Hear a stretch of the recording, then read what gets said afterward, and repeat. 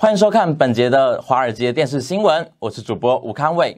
美国股市交易扩大，试图缓解连续两天的跌幅，瓶盖股率先飙升，带动了道琼指数盘中上涨三百五十点，标准普尔五百指数也随之收高，纳斯达克指数则连续四天下跌。瓶盖股大幅上涨，带动整体经济拉抬，道琼工业指数及各类台股纷纷开高，重新站回半年线之上。道琼工业平均指数收高一百六十四点七点，至两万四千九百六十二点四八点。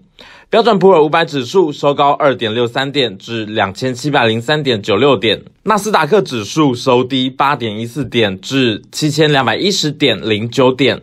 费城半导体指数收低三点二七点，至一千三百二十二点零八点。在联准会公布的一月份会议记录中，显示通膨的情况目前官方相当的重视，且不排除于二零一八年内升息四次。而分析师表示，若市场利率突然快速上升，将会造成明显的波动震荡。华尔街电视新闻记者吴康伟整理报道。